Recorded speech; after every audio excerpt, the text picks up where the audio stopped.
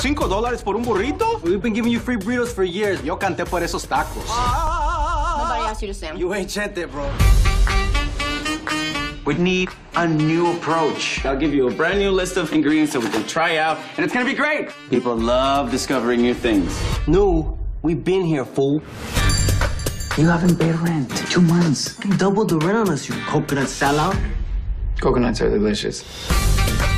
Con estos pinches greedy landlords que nos quieren convertir todos en ramen spots. Stay woke. Why you gotta go all the way to Paris to be a chef? I want to back Michelin stars and Boyle Heights. Estamos preocupados por Chris. Chris is going to be fine. He can afford help like therapy or Whole Foods. ¿Qué dijiste, Whole Foods?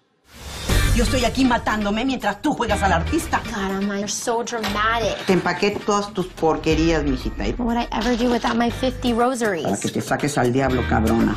My daughter, she's beautiful. She's brilliant. Marry her, pendejo. Play like a team. You know, como las chivas. The defense communicate with the offense and then... ¡Gol! ¿Se me entiende, no? I think so.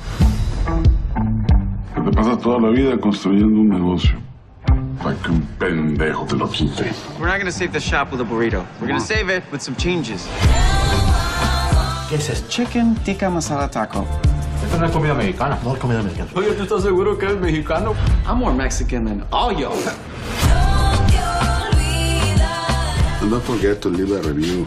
And if you don't like the food, don't tell anybody, cabrón. Mm. We know people.